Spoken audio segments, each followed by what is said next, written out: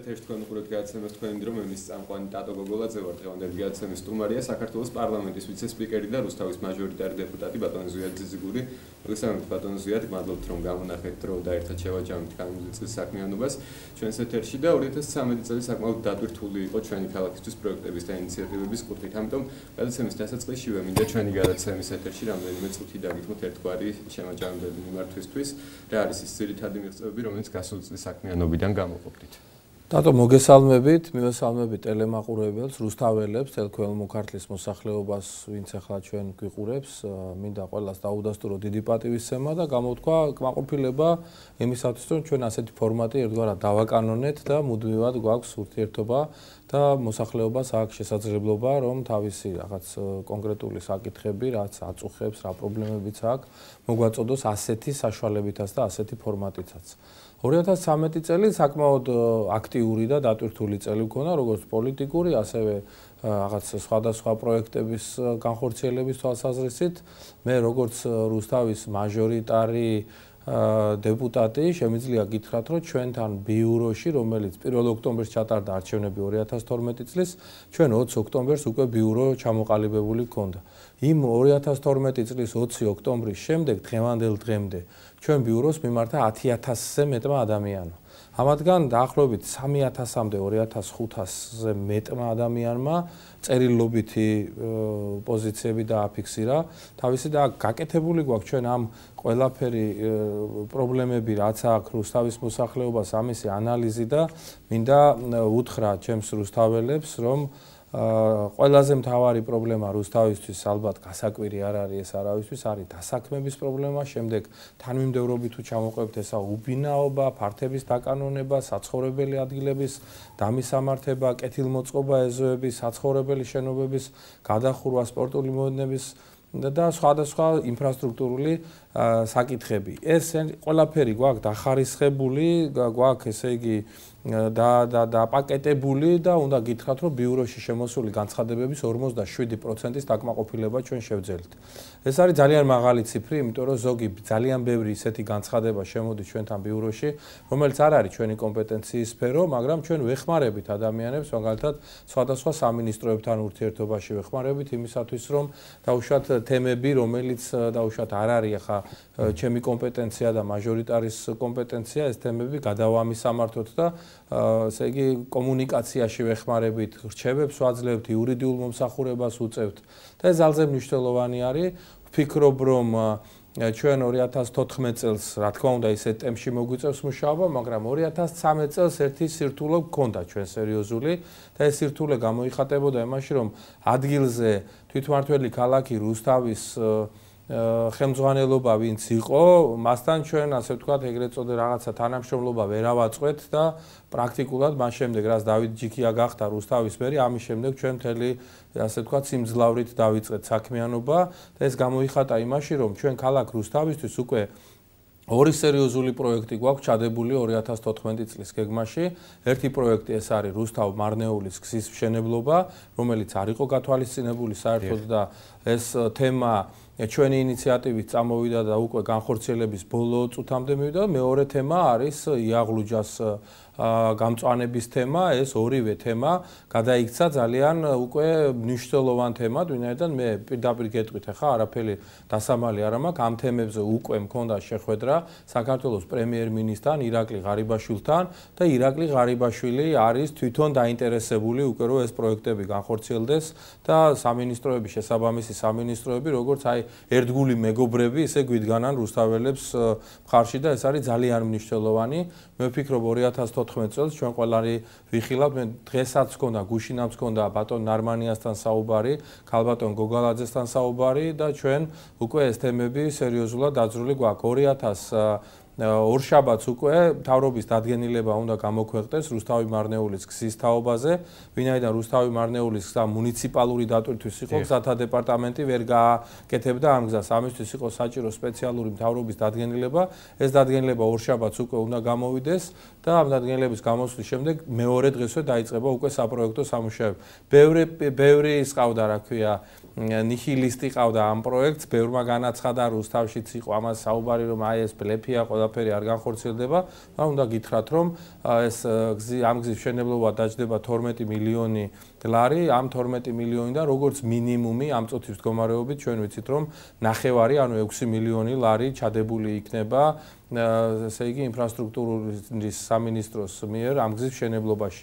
ისევ როგორც იაღლუჯას მთის თაობაზე ჩვენ 130 ჰექტარით ვიწყებთ იაღლუჯას მთის გამწვანებას, ეს 130 ჰექტარი არის ეკონომიკის სამინისტროს ბალანსზე წერილები გაგზავნილია იმისათვის რომ გადმოვიდეს ქალაქ თვითმართველი ქალაქის რუსთავის ბალანსზე და მინდა სასიხარულო ამბავი გაუწყოთ რომ უკვე 4 ჰექტარის სპონსორი ვიპოვე რომელიც აპირებს ამ გამწვანებას ამ თისას. 2 ჰექტარი ერთმა სპონსორმა თქვა ამას ჯერ არ ვიტყვი ეთერში რომელი სპონსორია და 2 ჰექტარი მეორემ და საერთოდ მინდა ყოველას ვთხოვოდა უთხრა ვისაც რუსთავის სიყვარული აქვს მისი რაღაცა სიკეთე უნდა და ვინ შეძლებს რომ დაუშვათ იქ ჩვენ ყოველას პატარა-პატარა თავის ნაკვეთებს გამოუყოფთ და ვინ შეძლებს და დაიწყებს ამ მიმართულებით რაიმე სასიკეთო ნაბიჯების გადადგმა ჩათვალეთ რომ ძალიან მნიშვნელოვანი იქნება.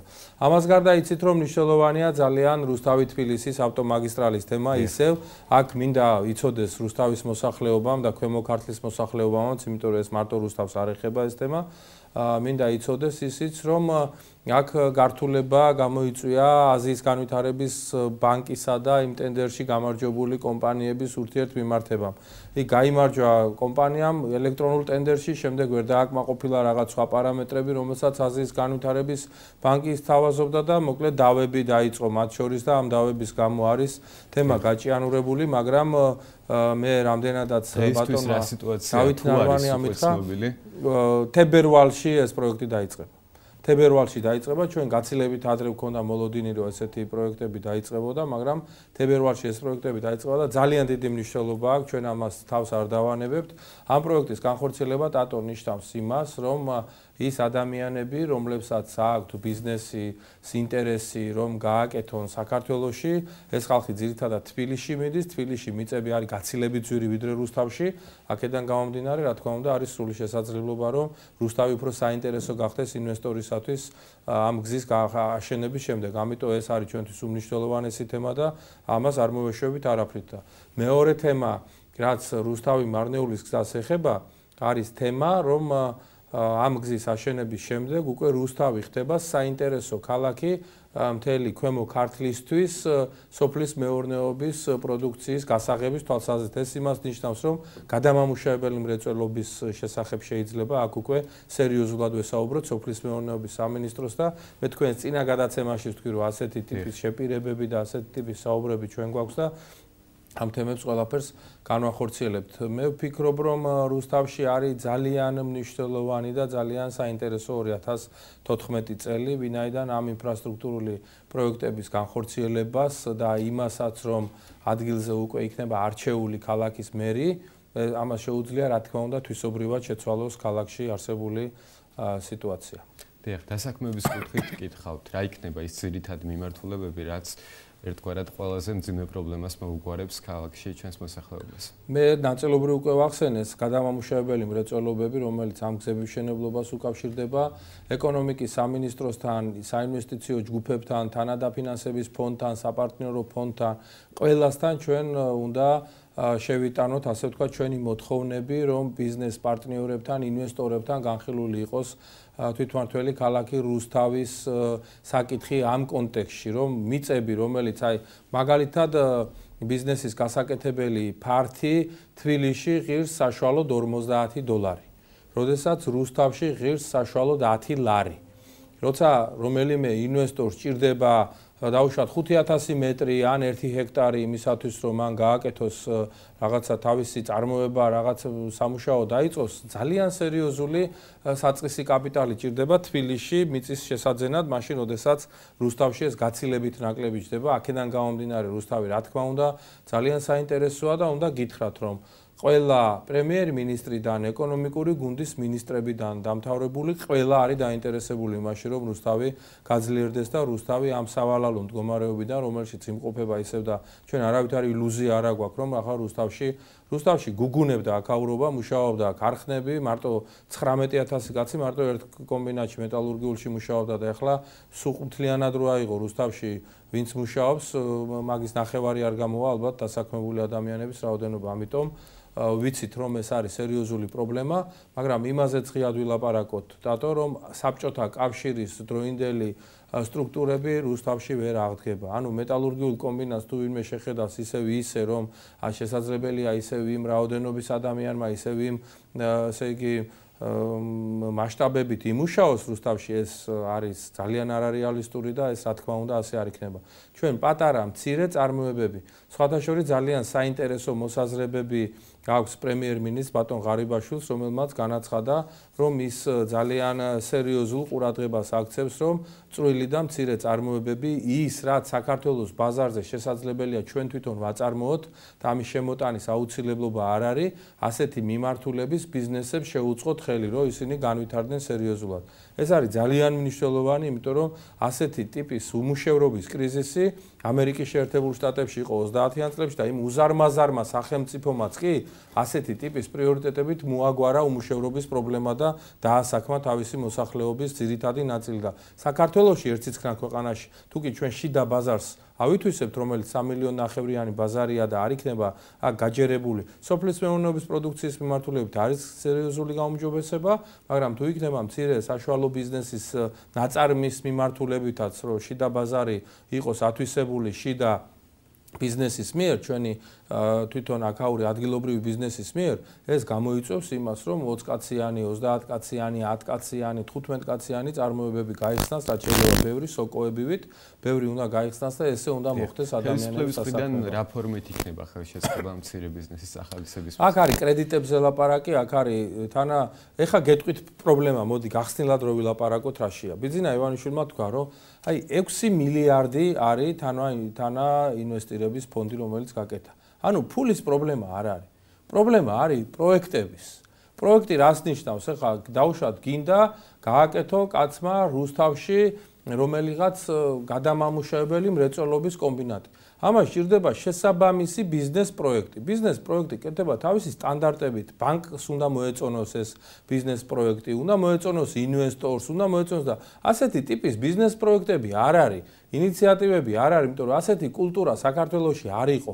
ამიტომ ეხლა დაწყებულია იმაზე მუშაობა, რომ ადამიანებს ვასწავლოთ და დაუქირაოთ იქამდეც მივიდა საქმე დაუქირაოთ ორგანიზაციები, რომელსაც აქ იდეა დაუშვათ რაღაცა გააკეთოს თავის ქალაქში ან თავის ქვეყანაში და ბიზნეს პროექტი გავაკეთებინოთ რა, ამაში მიეხმაროს. ამაზეც წასული არის ხელისუფლება და მინდა გითხრათ რომ რაღაც უკვე წლის ბოლოსთვის ახლა მქონდა საუბარი რამდენიმე საათის წინ ნოდარ ხადურთან ფინანსთა მინისტრთან რომელსაც მე გამოვკითხე თუ რა მდგომარეობა გვაქვს ფინანსური თვალსაზრისით მინდა გითხრათ რომ ნოემბერში და დეკემბერში შეინიშნება ძალიან გააქტიურება სამშენებლო მიმართულებით. ანუ მშენებლობები გააქტიურდა ძალიან და ეს ზამთარში ამის გაკეთება არის უჩვეულო ამბავი, იმიტომ რომ ძირითადად ასეთი ტიპი მშენებლობები აქტიურდება ზაფხულის პერიოდში ხოლმე, ახლა ზაფხულის ნაცვლად დაწყებულია ზამთარში ეს ყველაფერი.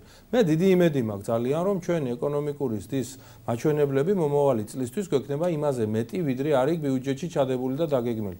ეს ძალზე მნიშვნელოვანია, იმიტომ რომ ეს პირდაპირ უკავშირდება სამუშაო ადგილების შექმნას და სადაც სამუშაო ადგილების შექმნა დაიწყება, მე თელი ჩემი შესაძლებლობები რაც გამაჩნია, ვიდგები რუსთავის სადარაჯოზე, ყველა მიცის რომ რუსთავთან არის ყველა ვალში, იმიტომ რომ ეს არის ქალაქი, რომელიც არის პატივისცემის ღირსი, რომელიც იყო ტექნიკური ინტელიგენციის, კულტურის, ხელოვნების ცენტრი. შემთხვევით არ არის, რომ გიგალორთკი ფანიძის სახელი ეწოდა, ეხა რამდენიმე დღის წინ რუსთავის სახელმწიფო თეატრი. შემთხვევით არ არის, რომ აქ არის ამდენი საფოლკლორული ანსამბლი, ამდენი სპორტული გუნდი, ასეთი მიღწევები, სიმფონიური ორკესტრი. მითხარით ერთი, რომელ ქალაქს აქვს? არავის არ ვაყენებ შეურაცხყოფას, არც ერთმა თბილისის გარდა სიმფონიური ორკესტრი რომელ ქალაქს აყავს? მითხარით, ეს არ არის შემთხვევითი.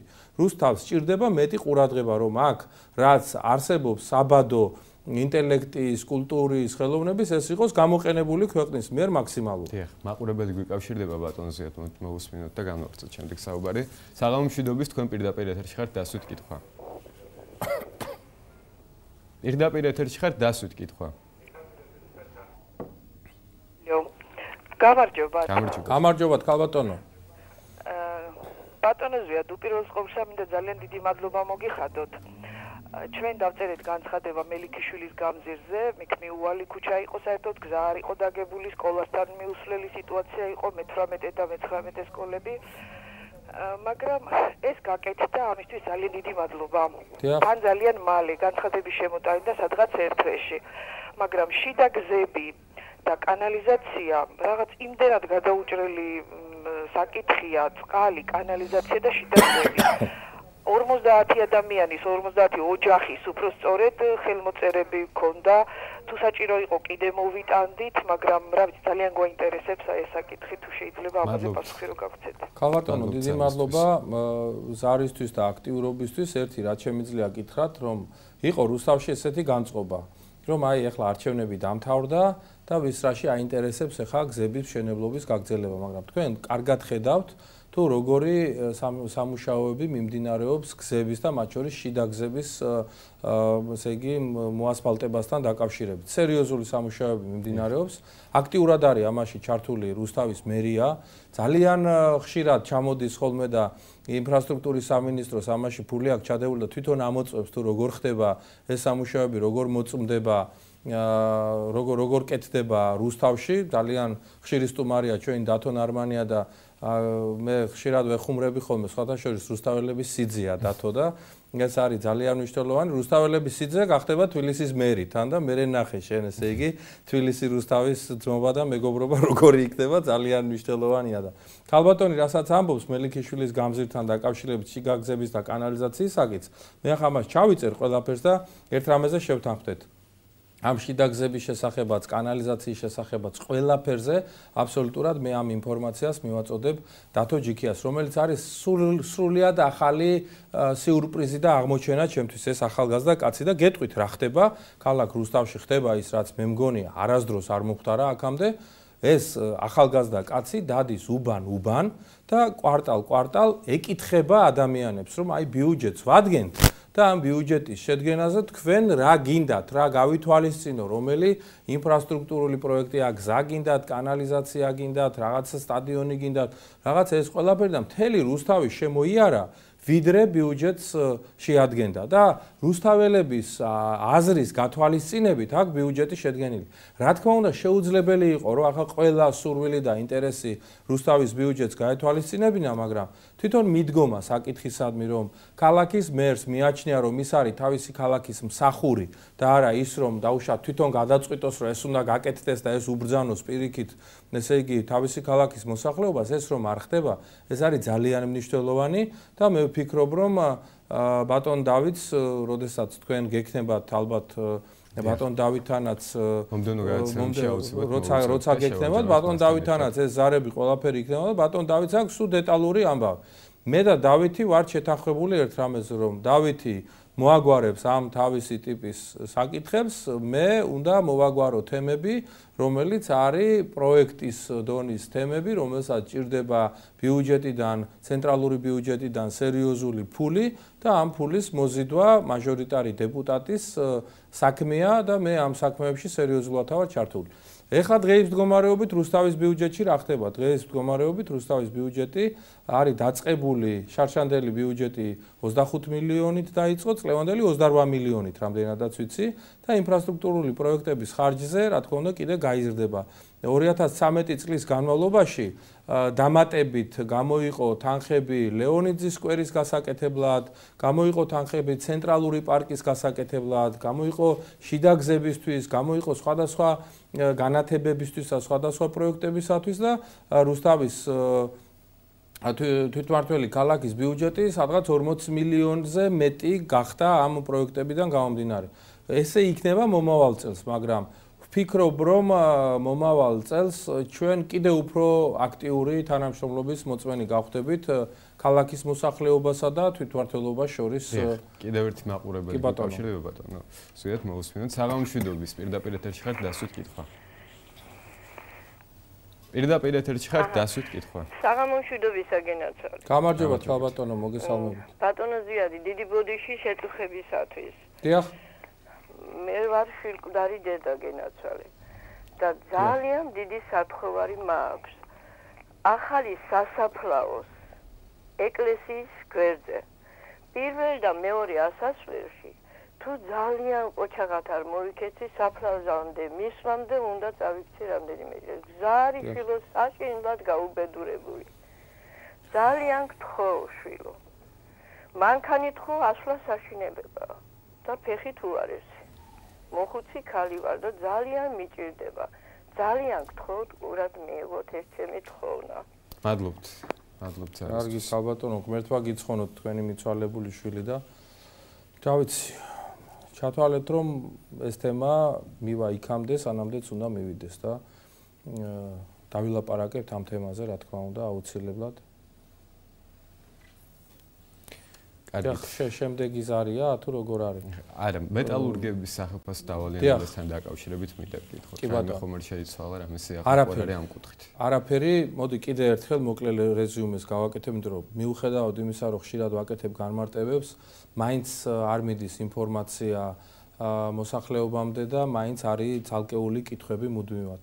მეტალურგების სახელმწიფო დავალიანება დაახლოებით 3 მილიონ ლარამდე შეადგენს ეს დავალიანება ვინც უნდა გადაიხადოს ის ორგანიზაცია ფიზიკურად არ არსებობს. ფიზიკურად კი ფიზიკურად არსებობს უბრალოდ იურიდიულად და სამართლებრივად არ არსებობს, ის გარდაიცვალა. ამიტომ ანგარიშ წორების ფორმა როგორი უნდა იყოს სამეტალურგების მიმართ, ეს ფორმა პრაქტიკულად დედამიწის ურგზე არ არის. ჩვენ მაშინ ბატონი ბიძინა ივანიშვილი იყო საქმეში ჩართული, ჩართული იყვნენ მინისტრები, ჩართული იყო ჩვენი ესე იგი მხარდამჭერები, ძალიან ბევრი მეგობრები იმისათვის, რომ ეს პრობლემა მოგვეგვარებინა და მე მინდა გითხრათ, რომ მაშინ პატარკაციშვილების ოჯახმა გადმოდგა კეთილშობილური ნაბიჯი, მათთან იყო მოლაპარაკება დაწყებული თუ როგორი ფორმით უნდა მომხდარიყო ამ დავალიანების დაფარვა და როცა ეს პროცესი დაიწყო, მაშინ დაიწყო მეორე პროცესი, რომლითაც უკვე პატარკაციშვილების ოჯახსა და ჟოზეფ კეის შორის დაიწყო სასამართლო დავა. ეხლა სასამართლო დავა, როდესაც მიმდინარეობს და ეუბნებიან პატარკაციშვილების ოჯახს, რომ ეს საერთოდ ეს მეტალურგიული კომბინატი შესაძლებელია დათმო, ბუნებრივია რაღაც სახელმწიფო დავალიანებებზე ამ პერიოდში ლაპარაკი ეს იყო სრულიად შეუძლებელი და ამ თემაზე ლაპარაკი შეწყდა. ეს დავა ჯერაც არ არის დამთავრებული. ეს დავა დაიწყო საფხულში და გრძელდება დღევანდელ დღემდე. როდესაც დამთავრდება ესეც მე ახალი რეალობებს უნდა ახალ რეალობებს ყველაფერს უნდა გადავხედოთ და ამ ახალი რეალობებიდან გამომდინარე უნდა ვიმოქმედოთ. მე ვიცი ახლა რას ამბობენ ადამიანები, რომლებიც ელოდებოდნენ ძალიან რომ აი როდის იქნება ჩვენ მოხუცები ვართ დალოდება არ შეგვიძლია პრობლემებია ამასთან დაკავშირებით. მე მესმის ეს ყველაფერი ძალიან კარგად. ეს პრობლემები თათო წარმოიშვა 1995 წლიდან და ის რომ ეხლა ეს რამდენიმე თვე გაჭიანურდა ეს პრობლემა ეს არის ძალიან ლოგიკური ჩა ჩა ჩაჟანგებული პრობლემა იყო რა წლების განმავლობაში და ამას თან თანამდევი ცუდი მოვლენებიც ჰქონდა როგორც კი გავრცელდა ხმა რომ სახელმწიფო დავალიანებების დარიგება გახდა შესაძლებელი და ახალი პოლიტიკური რეალობა წარმოიშვა გამოჩნდნენ ადამიანები რომლებმაც სასწრაფოდ დაიწყეს ესე იგი მოგროვება და ვიღაც თვითონ მეტალურგების და მათთვის ახსნა რომ ამ დავალიანების დაბრუნების შემთხვევაში რაღაცა პროცენტები მათ ეკუთვნოდათ. ანუ გამოჩნდნენ ვიღაც თაღლითები ამ სიტყვის სრული მნიშვნელობით, რომლებაც წინასწარვე დაიწყეს რაღაც იმ იმ თემაზე ხელის მოთფობა, რომელიც თემაც ჯერ გადაწყვეტილი არ იყო. ესეც მინდა უბრალოდ ყველა მიცოდეს, რომ ეს თემა, როდესაც მოგვარდება მე ამას ცდილობას არ დავაკლებ, მაგრამ რაც იქნება რეალური მდგომარეობა, ამასაც თქვენთან ეთერი იქნება თუ რა იქნება, პირდაპირ ვიტყვი, მე არავის მოტყუებას არ ვაპირებ. დიახ, ჩვენ ასეთი დაპირება გავეცით და ამ დაპირების შესასრულებლად მუშაობთ. არ გავჩერებულა ერთი წუთითაც კი, მაგრამ ეხა რაც ჩემ ზალებში არ არის, არ არის. უნდა ყველამ შევხედოთ რეალური სიტუაცია, რაც არის მეორე მეტალურგების მეორე პრობლემა. არიან ტრამვირებული მეტალურგები, პენსიონერები, რომელთაც მარტის დადგენილებით 2013 წლის 1 მარტის დადგენილებით თავრობამ დაუწესა, რომ თუ კი არ არის სამართალ მემკვიდრე ორგანიზაციის, სადაც თქვენ ტრავმა მიიღეთ, ასეთ შემთხვევაში თქვენი, ასე იგი, პენსიების გასტუმრებას თავის თავზე იღებს სახელმწიფო. ასეთი არის დაახლოებით 800-მდე ადამიანი რუსთავში, რომელთაც ესე იგი ვერ დაუდგინეს ეს იმ დღიდან ენიშნებათ, რა თქმა უნდა, პირველივე მარტიდან ენიშნებათ, მაგრამ თვითონ სოციალურმა სააგენტომ ვერ მოიძია სათანადო დოკუმენტაცია, რომ ამ ხალხს გადაუწყვიტოს ეს პრობლემა, რომ უკვე რუსთავის მეტალურგიული კომბინატი, რომელიც აღარ არსებობს, სახელმწიფო მისცეს. ამიტომ ერთადერთი გზა დარჩა სასამართლოს გზა. ჩვენ გადავწყვიტეთ ბიუროს თანამშრომლებთან ერთად მოვითათვირეთ ესეთი რამ, რომ ამ ადამიანებს ხელი რო შეგვეწყო მათთვის, ავდექით და ჩვენ დაუქირავეთ ადვოკატი. მე ახლა ვინმეს არ ეგონოს რომ ახლა მე ვისაც ადვოკატი დაჭირდება ყოველას დაქირავების შესაძლებლობა გვაქვს მაგრამ აქ 800 კაცს ეხებოდა საკითხი ამიტომ ჩვენ ჩვენი მწირი შესაძლებლობებით რაც იყო ის თანხა რომელიც ჩვენი ხელფასისთვის და бенზინისთვის და იმისთვის ეძლევა რაღაცა დავზოგეთ და იმ თანხით დაუქირავეთ ამ ხალხს ადვოკატი და ეხლა კიდე ერთი პრობლემა აღმოჩნდა რომ ამ ადამიანებს ას დოკუმენტაცია აქვს ეს არის რუსულად ყველა ეს დოკუმენტაცია და ამას თარგმნა უნდა ესე წინააღმდეგ შემთხვევაში და თქვენ წარმოიდგინეთ ეხლა რამდენიმე ასეული დოკუმენტაციის თარგმნა ისევ თანხებთანაა დაკავშირებული და აქაც ესე იგი ვცდილობთ როგორმე მივეხმაროთ მაგრამ მაქსიმალურად მივეხმარებით იმიტომ რომ ვთვლი რომ ჩვენ რა თქმა უნდა ასეთ ადამიანებს უნდა ამოუდგეთ ხარში. მე არ გაურბივარ სახელფასო დავალიანებებზე, არც ლაპარაკს, არც შრომას, არაფერს, მაგრამ რეალური სიტუაცია რაც არის, ამას აუხსნი ყველგან ყოველთვის ყველას. არ შეიძლება რომ სასამართლო პროცესი მიმდინარეობდეს და ამ დროს სახელმწიფო დავალიანების დაფარვაზე ელაპარაკებოდე ორგანიზაციას, რომელსაც იურიდიულად არ ეკუთვნის ამის გადახდა და თან ეუბნებოდე რომ ესე იგი მოდი ესეთი ტიპის პრობლემები მოვაგვაროთ ეხლა როცა შენ გედავებიან რომ საერთოდ წაგართვევენ ამ ბიზნესს. კარგი, ცოტა ხნის წინ მთელი საქართველოს მასშტაბით ახალი გუბერნატორები დაინიშნენ და მინდა ჩვენ მხარის გუბერნატორთან დაკავშირებით კითხოთ, თუ იცნობთ მის საქმიანობას და სამომავლოდ როგორი თანამშრომლობთ მასთან. გიორგი მღებრიშვილია დანიშნული ქვემო ქართლის გუბერნატორთან, გუბერნატორად. მე მას არ ვიცნობ, მაგრამ ვიცი რომ არის ახალგაზრდა, ენერგიული და ძალიან გონიერი ადამიანი. მე მინდა წარმატებები უსურვო მას. დარწმუნებული ვარ რომ ჩვენ მოვახერხებთ და ძალიან ისეთ თანამშრომლობის რეჟიმს ავაწყობთ ძალიან სერიოზულს.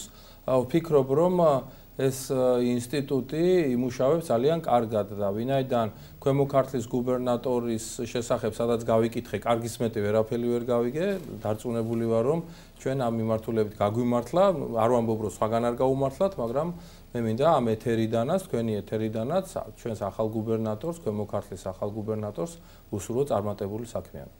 კარგით, ეთერში რეკლამის როა ჩვენ რამდენიმე წუთში დაუბრუნდებით პირდაპირ ეთერში. ჩვენ კვლავ პირდაპირ ეთერში ბრუნდებით, მე შევახსენებ მაყურებელს, რომ დღევანდელი გადაცემის სტუმარია საქართველოს პარლამენტის ვიცე-სპიკერი და რუსთავის მაჟორიტარი დეპუტატი ბატონო ზვიად ძიზიგური. ბატონო ზვიად, განვაგრძოთ საუბარი, მე მინდა კვლავ იაღლუჯის გამწვანების თემას დაუბრუნდეთ. როგორც ცნობილია, იქ ტოქსიკური ნივთიერებების საცავიც არსებობს. ერთგვარი ხელისშემშლელი ფაქტორი ხომ არ იქნება ეს? სერიოზული, დატო, სერიოზული. მე მოდი ერთი რამ ვთქვათ, ეხლა მეკითხებიან ხოლმე, რომ ნუ ახლა იაღლუჯას ვთა გავიგე, რაღაც გზა გავიგე, მაგრამ მე კიდე ერთხელ ვიტყვი თქვენს ეთერში, მე სხვა სხვა დროს უკვე მაჟორიტარად კენჭის ხრას აღარ ვაპირებ. აღარ ვიქნები მაჟორიტარი არასოდეს ცხოვრებაში, ვინაიდან ვთვლი, რომ საკმარისია უკვე მესამე თუ მეოთხე და ვარ მაჟორიტარი და ბოლო მაჟორიტარობაა ჩემი რუსთავში. მე ეს უნდა დაუტოვო რუსთავს. ჩემი ამბიცია არის ეგ რომ ეს მთა რომელიც ფაქტიურად შეიძლება ფილტვი გახდეს რუსთავისთვის შეცვალოს კლიმატი აქ ადამიანებს ესე იგი ზაფხულობით ამ ქვის სახლებში გამოკეტილი რუსთაველები გახურებული გავარვარებული სახლები ეს არის საწოდაობა პირდაპირ რაც ხდება და ძალიან მნიშვნელოვანია ეს შეიძლება ადამიანმა იფიქროს, რომ იოლი პროექტი არ არის იოლი პროექტი, ბიძინა გიორგობიანი, რომელიც არის სატყეო დეპარტამენტის სატყეო სააგენტოს ხელმძღვანელი, ჩვენ მას მიღებული აქვს პირდაპირ ღარიბაშვილისაგან და ბატონ ქალბატონი გოგალაძესაგან დავალება, რომ პროექტი უნდა გაგვიკეთოს. მაგ იყო ტოქსიკური ნარჩენების ასე ვთქვათ სამყოფ ძალიან ბევრი, ძალიან ბევრი მიყრილი მოყრილია რაღაც კომუნისტების პერიოდში 30-40 წლის წინ ძალიან ძნელი გასამწვანებელია. ის რომ ახლა იქ ერთმა ხემ გაიხაროს, მას ჭირდება ძალიან სერიოზული ყურადღება, შეიძლება მიწის მიტანა დაჭirdეს, სამორწყარო დაჭirdება თავისთავად, ამიტომ თან ბევრი დაждდება ეს ძალიან საკმაოდ დიდი დაждდება რაც არ უნდა სპონსორები ვიპოვოთ ჩვენ მაინც იქნება სადღაც მილიონებზე დოლარებზე წავა მაგ პროექტის განხორციელება. მაგრამ გეუბნებით მე აი შემიძლია პირდაპირ ეთერში მოგიყვეთ რომ მე ეს ყველაფერი აი როგორც თქვენ ახლა გესაუბრებით ასე ვესაუბრე ჩვენს პრემიერ-მინისტრ ირაკლი ღარიბაშვილს რომ ეს არის გასაკეთებელი და ადგახელი ჩამომართვა და მითხრა რომ აი მოყვებით ბოლომდე. მოგეხმარები ბოლომდე. კიდე ერთხელ დაურეკა ჩემი თანდასწრებით ქალბატონ გოგალაძეს და უთხრა უთხრა რომ იაღლუჯავს ის რა თქმა უნდა მე უკვე ნათქვამი მქონდა ქალბატონი ხათუნასთვის და ქალბატონი ხათუნა ძალიან აქტიურად გვეხმარება.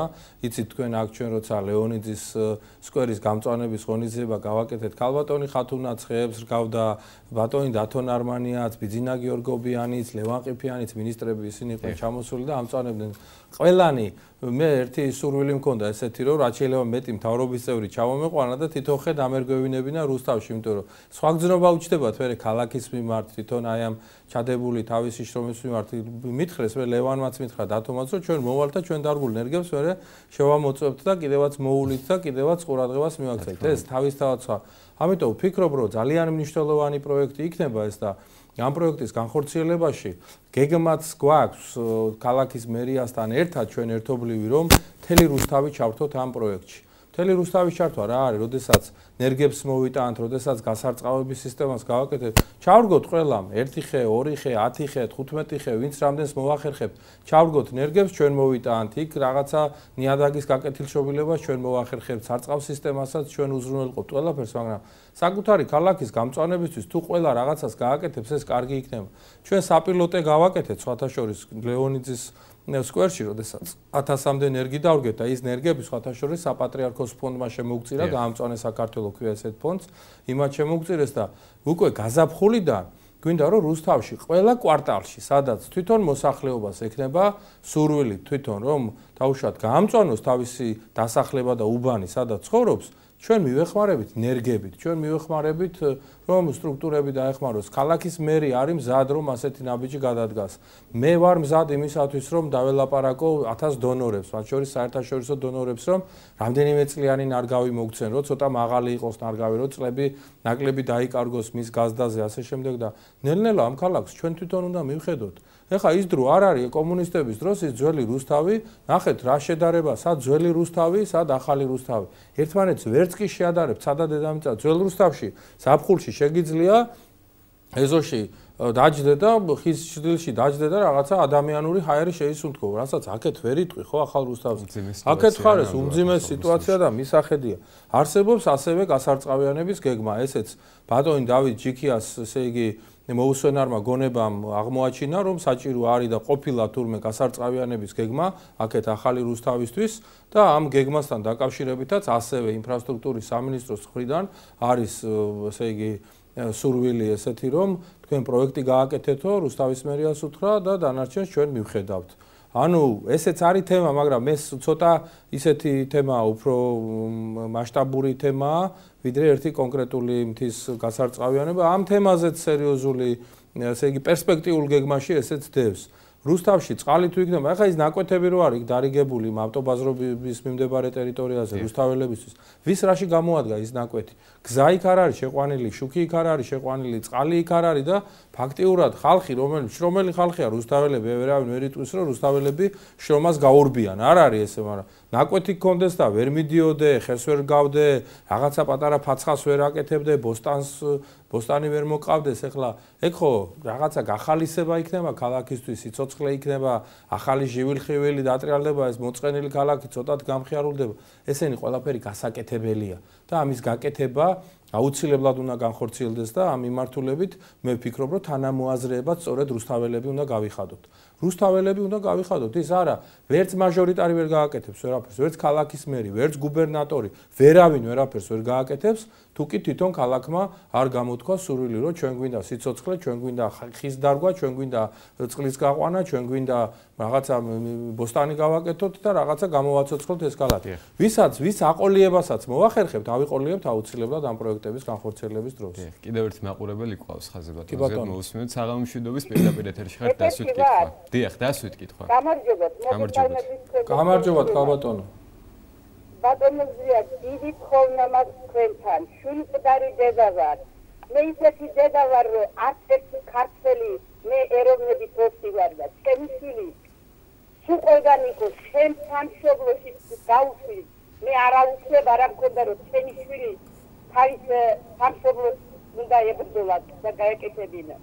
ყველა ომი თუ სადმე ის იყო რაკიან ქალბატონ კითხვა სად დაიღუპა თქვენი შვილი? ბზოლაში დაიღუპა ქალბატონო? დამეღუპა სახში დამეღუპა უცხულობის და იმისი აკუზა კონდა და თავის დროზე ვერ იმკუნა სამსამი ბაქის პატრონი. დარჩა სამი შვილი. სახლი დარჩა ჩვენი გერმანული სახლი და 2003 წლიდან დავდივარ სახლის კლუბის პირო კალში არის პირდაპირ კალში სამების სადგურიდან მას ცნობისა ცნობა რომ აუცილებლად უნდა გადას რამდენი მერია გამოსვალე, რამდენი გუბერნატორი გამოსვალე, არავის ყურადღება. სამ ბერმუდის სამკუთხედი ხო არ არის რომ არ არ არ ეხელოს არაფერი, მაგათ კარგად ვერ ლაპარაკობდა რომ ნერვეულო. კარგით, გასაგებია ქალბატონ, უბრალოდ ძალიან გთხოვთ რომ მოგ დაგეხმაროთ ჩემი შვილი და მაგისი ამხანაგების სიგნის გამოვშეთ იმაზე სირბინეს და სპონსორო ბარამი რომ არავინ არ გაგვიწეთა რომ კარგით ძალიან დიდი მადლობა ზარისთვის ქალბატონო ვიზიარებ თქვენს მდგომარეობას. უბრალოდ მაყურებელს მინდა მიმართო ძალიან დიდ ბოლოში ბატონო ზიად უბრალოდ მაყურებელს მინდა მიმართო რომ რაც შეიძლება ისეთი კითხვებით დარეკოს რომელიც ბატონო ზიადის კომპეტენციაშია ამ შემთხვევაში რუსთავის მაჟორიტარი ყავს სტუმრად მოწეული მე ქალბატონს შულდარი დაბრძანდება და მინდა უპასო 2003 წლიდან დავდივარ ამ პრობლემის გადასაწყვეტად და ვერ გადავწყვიტე ანუ ეს პრობლემაა რომ სადმე არ მისულა ჯერ და ახალია ესეთი არ არის.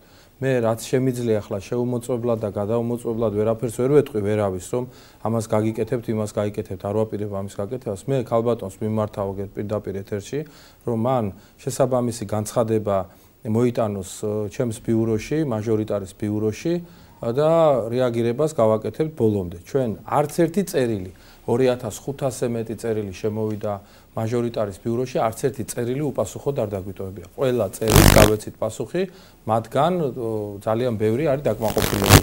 მაგრამ ყველაფერზე პასუხს მივიღეთ ჩვენთან ბიუროში თანამშრომლები არიან ისე მათ იციან რომ მათი უმთავრესი მოვალეობა არის რომ შეიძლება რაიმე საკითხს ვერ უწყვეტავდე მოქალაქეს მაგრამ ის რომ ყურადღება მიაკლო, ის რომ ამ ადამიანებს ესე იგი უკმარისობის გზნობა დაუტოვო, რომ რაღაცა შეეძლო დახმარება და არ დახმარებოდა, ესეთი რამ ჩვენთვის არის დაუშვებელი. ჩვენი მაჟორიტარი ბიუროს ხელმძღვანელი ბატონი დავით მაღლაკელიძეა, ახალგაზრდა კაცია, განათლებული, რუსთაველია, აქაური, ყველა ყველა სიცნობს და ყველა პრობლემა იცის რუსთავის, კომუნიკაბელური ადამიანია. მე მინდა ყველა მიცოდეს რუსთაველმა, რომ ერთი თემა არის რომ მე ხშირად არა ვარ რუსთავში, გაცილებით მირჩევნია რომ ვიყო რუსთავში ვიდრე ან ქუთაისში და ან ჩემო ბატონო სხვაგან, აქ გაცილებით კომფორტულია ჩემი ყოფნა და ბუნებრივიც არის და უფრო სიამოვნებს კიდეც, მაგრამ დათო მაღლაკელიძე ყოველთვის რუსთავშია. კვირა დღეა, ერთი დღე, როდესაც მაჟორიტარის ბიურო არ მუშაობს. რაც შეეხება მაჟორიტარის ბიუროს, ერთს გეტყვით კიდევ.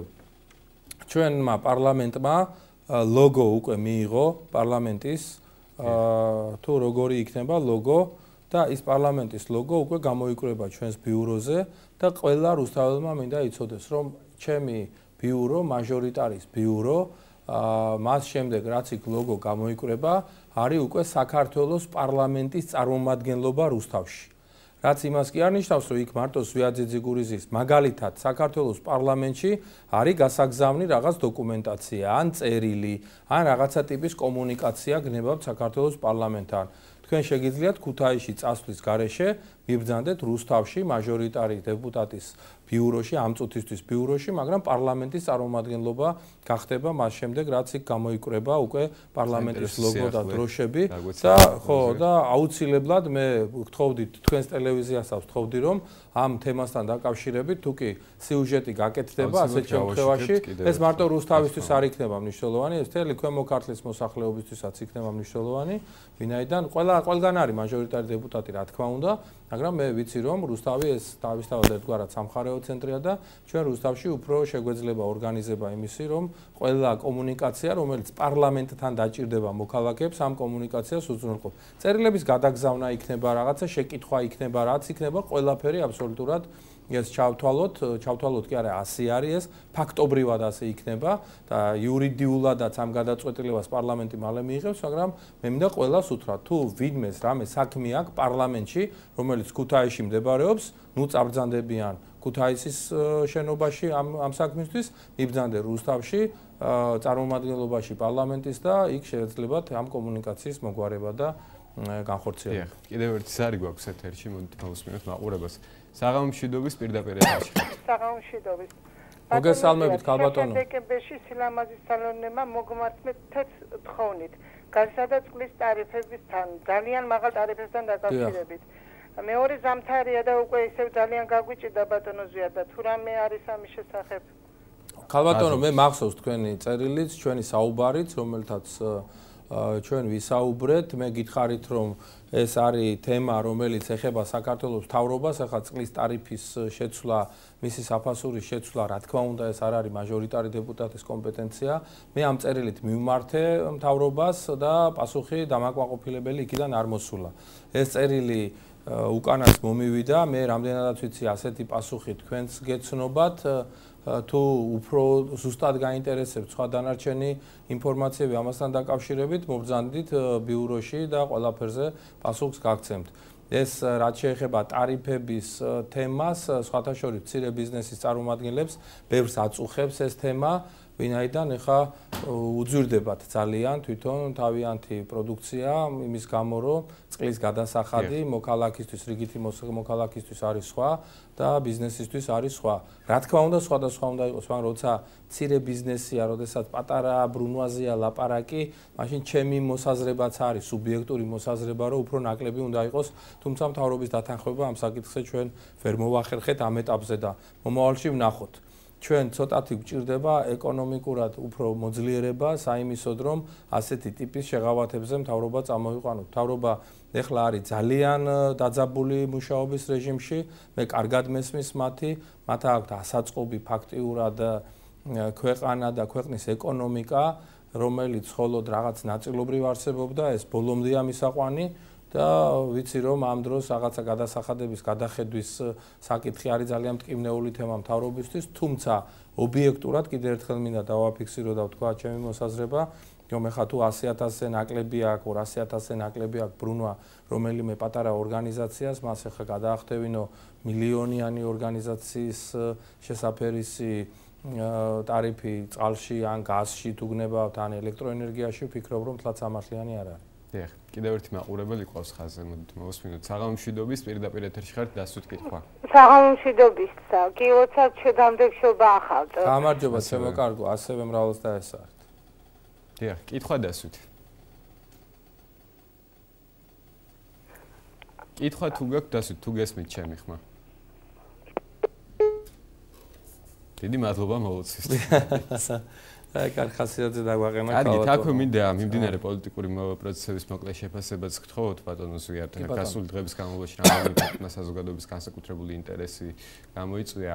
ეს იყო პარლამენტში მოხდარი ინციდენტი, ასევე ოფილი პრემიერის ბატონ ივანო მერაბიშვილის განცხადება და აქვე მინდა ავტომობილების, ზვირადღირებული ავტომობილების შეძენის თავებაზეც მინდა გკითხოთ, თუ არის ამ ხრივ მე როგორც ვიცი პარლამენტი ამზადებს შესაბამის ახალ რეგულაციას რომ ძირადღირებული ძირადღირებულ ავტომობილებთან დაკავშირებით მინდა ვთქვა სავსებით სამართლიანია საზოგადოების აღშფოთება როდესაც ძირადღირებული ავტომობილებისკენ იწევს ესათვის ჩინოვნიკი და მე ვფიქრობ რომ საკმაოდ უკვე მოხდა ცხვირში იმ ადამიანებს რომლებმაც ეს გადაწყვეტილება მიიღეს და საერთოდ დასარეგულირებელია საკითხი. სახელმწიფო უნდა არეგულირებდეს არ უნდა იყოს ცალკეული ჩინოვნიკის ნებაზე დამოკიდებული. აქ როგორ ხდება იცით? აი წლის ბოლოს დარჩა რაღაცა თანხა ასათვისებელი რომ გადაწყვეტეს რომ ავტომობილებს ვიყიდით იმიტომ რომ აუთვისებელი თანხა უკან შეიძლება წაიღოს ბიუჯეტმა ბიუჯეტი წაიღებს შენი ქვეყნის ახლა ის არ წაიღებს ტერი კაცო რა იყო? ამის გულისთვის უნდა ადგე და რაღაცა იმაზე იფიქრო რომ აი რა შეიძლება მეტი ფული გადავიხადო ავტომობილში. არ შეიძლება ამის გაკეთება იურიდიულადაც და სამართლებრივადაც ამაში დარღვევა რომ არ იყოს, ამაში მორალური პრობლემებია და პოლიტიკური პრობლემებიცაა. არ შეიძლება ამის გაკეთება. მაგრამ მე ვეთანხმები კახი კალაძეს, რომელიც კარგი კაცია ძალიან, კარგი ვიცე-პრემიერია და კარგი სამტრედიელია თან ჩემი თანაქალაქელი არის ესე იგი და თქვა მან რომ რეგულაციებს ვამზადებთ იმისათვის როგორც ვიცე-პრემიერმა ისე გააკეთა განცხადება რომ ახალი ავტომობილები როგორ უნდა შევიძინოთ ეს გადასაწყვეტი იყოს არა ჩინოვნიკის არამედ საკანონმდებლო არსებობდეს რეგულაცია ამისი და ეს არის სწორი ძალიან. ეხლა ჩვენ საქართველოს პარლამენტს აქვს მომავალ წელს დაგეგმილი შესყიდვა მანქანების და ეხლა ამჟამად საქართველოს პარლამენტის მანქანები არის შკოდები და ისინი რა ქვია Volkswagen-ები არის ისა დაბალი ღირებულების მანქანებია მაგრამ მე ახლა რამდენადაც ვიცი საქართველოს პარლამენტის თავმჯდომარე კიდე უფრო იაფასიანი მანქანების მიმართულებით აკეთებს აქცენტს და მე ვფიქრობ ეს არის მორალურად და პოლიტიკურად სწორი. შეიძლება პრაგმატულად ფლასწორი არ იყოს, იმიტომ რომ იაფასიანი მანქანა მალე იმტრევა და მალე ფუჭდება, მაგრამ ჩვენ ამ წუთას გვჭირდება რომ ჩვენმა მოქალაქეებმა, ჩვენმა მოსახლეობამ დაინახოს, რომ ჩვენთვის ხელისუფლებაში ყოფნა ეს არ არის განცხრომაში ყოფნა და არ არ ვაიგივებთ ერთმანეთთან. ეს იყო ერთი კითხვა და მე ვფიქრობ, რომ კარგი კითხვა და ამისთვის ძალიან მეორე რა იყო, თატო აღარ მახსოვს. პარლამენტში მოხდა რი ინციდენტი. ინციდენტი. დიახ. ფუფ, მოკლედ ეს ინციდენტები პარლამენტები რაც არსებობს, სულ არსებობს მათ შემდეგ. ჯაჭულიანსა და ბარამიძეს შორის მოხდა შელაპარაკება, შემდეგ გადაიზარდა ფიზიკურ დაპირისპირებაში და შემდეგ დაიშალა ეს ამბავი ყველაფერი. არ არის სასიამოვნო, მე ვფიქრობ, არ არის კარგი ამბავი, იმიტომ რომ პარლამენტარის და პოლიტიკოსის ძირითადი იერარქია უნდა იყოს სიტყვა. თუ ეს სიტყვა მართალი სიტყვაა, მაშინ კიდევ უფრო უკეთესი. თუმცა ჩვენი კოლეგები, ხშირად ჩვენი ოპონენტები ხშირად ძალიან ხშირად იყენებენ დემაგოგიურ რაღაცა იარაღებს და ამან გამოიწვია სწორედ ეს გაღიზიანება ჩვენი კოლეგის რომ როცა უკრაინაში დარბეულ მიტინგებზე ლაპარაკობდა გიორგი ბარამიძე ვერ მოითმინა სოსო ჯაჭულიანმა რომელიც იყო მსხვერპლი 2011 წელს 26 მაისს თვითონ სასტიკად ცემეს და ამცირეს შეურაცხყოფა მიაყენეს და ბუნებრივია რომ მან გააკეთა რეაგირება. არ მოგწონს ეს ამბავი მაგრამ არსებობს სისხლის სამართლის კოდექსი და იმითი უნდა ვიხემწონელოთ თუ ვინმე ხულიგნობს, ხულიგნობის მუხლით უნდა ჩაჯდეს თუ ხულიგნობამდე არ მივიდა საქმე და სიტყვიერი შელაპარაკება ან ისეთი დონე იყო, სადაც პარლამენტის მანდატურები ყოფნიან, ასეთ შემთხვევაში ამ დონეზე მთავრდება ასეთი ტიპის კონფლიქტები. ვფიქრობ, რომ მუშტიკრივი პარლამენტში კი ყველგან ხდება, მაგრამ დიდად სასიამოვნო საყურებელი არ არის და ვფიქრობ, რომ საქართველოს პარლამენტიც ამ თემებზე ცოტა უფრო გაამკაცრებს იმ იმ რეგულაციებს, რომელიც თვითონ აქვს მას შიგნით რეგლამენტში და ეთიკის თუ საპროცედურო კომიტეტის მოქმედების ნორმებში. დიახ. და რაც შეეხება ყოფილი პრემიერის ვანო მერაბიშვილის განცხადებას და დღეს მის დღეს მისმა ადვოკატმა გაკეთა ესეთი მოთხოვნა ერთგვარი რომ გვაჩვენონ ვიდეო ფირები თუ კი ბატონო. არის თუ იქნება თქვა თქვენს თუ მოუწოდებთ შესაძლოა სამინისტროს რომ მე მიმაჩნია რომ გამოძიება გასაკეთებელია მე მიმაჩნია ასე მე პოლიტიკოსი ვარ და მიმაჩნია რომ გამჭირვალე რო იყოს არის ერთი თემა. მაგრამ ეხა პროკურატურას აქვს თავისი პოზიცია. პროკურატურის პოზიცია ახლა რამდენი პატიმარი რაღაცა სიტყვის ჩვენზე ახლა თუ ესე გამოძიებები დაგვიწეთ ამ გამოძიების დაწყების შემთხვევაში უფლებამოსილება უნდა შეუჩერდეს სოზარ სუბარსაც და სხვათა შორის 1000-მდე პატიმარი შიმშილოს ახლა იმაში ციხეებში და ახლა შეუჩერო უფლებამოსილება ახლა საშელ აღსრულების მინისტრს და უნდა შეუჩერო მთავარ პროკურორსაც. და ახლა აი ასე შეუძლია პარალიზება გამოიწვიონ საერთოდ სახელმწიფო სტრუქტურების ნებისმიერ პატიმარს და ეს ასე არ ხდება. ამიტომ რა თქმა უნდა მე პროკურატურის კარგად მესმის. მეორე თემაა კიდე ახლა ვანო მერაბიშვილს მე ვიცნობ 2000 წლის შემდეგ. მაშინ არ იყო ის ხელისუფლებაში უფრო სწორად ხელისუფლებაში იყო ოღონდ შევარნაძის დროს, შემდეგ ოპოზიციაში გადავიდა და შემდეგ უკვე ხელისუფლებაში მოვიდა ვარდების რევოლუციის პერიოდში. მე ამ კაცს ვიცნობ და არასდროს დიდი მართლმსქმელი კაცი ეს არ იყო. და ეხლა როდესაც ასეთ გაჭირებულ დღეშია, ეხლა რომ მის სიტყვა დასაჯერებელი იყოს, ჩემთვის ნაკლებად არგუმენტი არგუმენტია ეს, რომ მან ასეთ განცხადება გააკეთა. თან ამბობს ესეთ რამეს, რომ გადამაფარეს რაღაცა თავზე, შემდეგ წამიყვანეს თავზე, იმიტომ გადამაფარეს, რომ ვერ მიმختارიყავი, სად მივყავდით და მე მიმიყვანეს საჯარო აღსრულების დეპარტამენტში, ანუ ტყუილა გადაუფარებიათ თავზე, ხო? ესე იგი, სადაც მინდოდა. მე ჩემთან იყვნენ პარასკევს პარასკევ შაბათის გასაყარზე იყვნენ შემოსულები. ამ განცხადებას სამშაბათს აკეთებს. სამშაბათამდე მასთან რამდენიმე დღის განმავლობაში ადვოკატიც იყო მისი შესული რაღაცა ტიპის.